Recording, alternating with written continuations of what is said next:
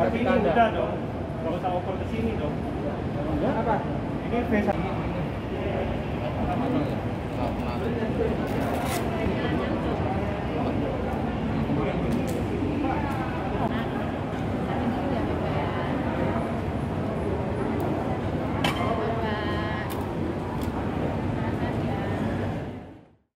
Nah, untuk sementara sih belum ada reaksi apa-apa ya. Hmm. Waktu vaksin pertama juga nggak ada reaksi apa-apa. nggak ada reaksi apa apa ya.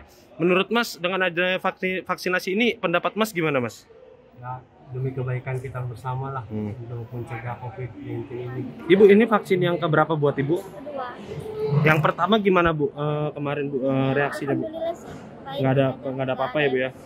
Bu eh, minta tanggapan Ibu soal dengan adanya vaksinasi ini menurut Ibu gimana Bu? ya bagus juga sih kita ngikutin peraturan dari pemerintah Oke.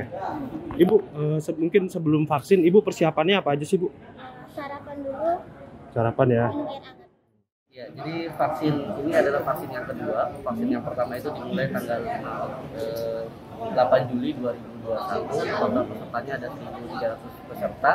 Kemudian untuk yang hari ini kita vaksin kedua dan vaksin pertama. Vaksin keduanya melanjutkan dari yang sebelumnya 1.300 peserta.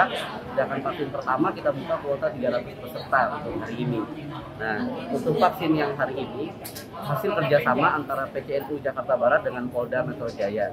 Jadi diselenggarakan sampai kapan mas?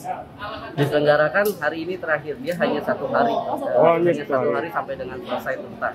Jadi tanggal 8 Juli dengan tanggal 5 Agustus. Mas ini kan masjid ada syarat tertentu nggak untuk warga yang divaksin apa siapa aja boleh? Eh, pertama mungkin yang dihimbau karena ini yang mengadakan NU untuk warga NU sisanya untuk warga sekitar masjid dan masyarakat umum. Siapa saja boleh sesuai dengan kuota yang sudah ditetapkan.